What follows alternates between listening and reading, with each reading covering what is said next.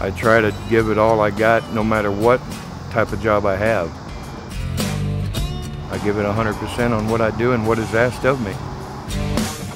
Been doing trade shows for 19 years now with Pyramid Logistics. Not just driving a truck. There's more to it than just getting behind the wheel and looking out a window as you're driving down the road. It's not that simple. It's a business that we're running and it's a way that we're supporting our family and making a living for our family. It takes a unique group of people to be able to do what we do, and not everybody can do it. I try to treat my customers as if they're not just a customer, but they're friends or even a, some type of a family.